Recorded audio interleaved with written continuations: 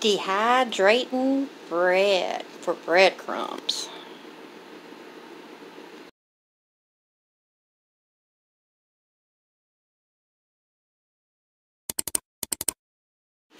Alright, this is just a quick video. I've already got the bread in the dehydrator and I thought I could have done a video about this. But honestly, this bread is getting old. And while I had thought about it, I was like, I need breadcrumbs. I'm running that low. So I'm just going to put this in the dehydrator instead of feeding the chickens. So literally, I just loaded up my five trays with the bread. It was perfect for it.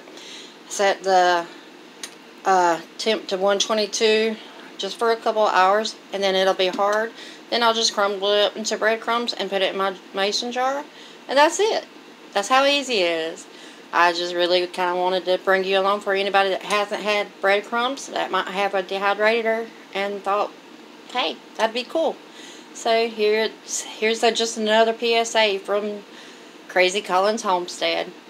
Like, subscribe, share the video, Share your tips in the, in the comment section below. Share with your friends. I'll see you on the flip side. God bless y'all. you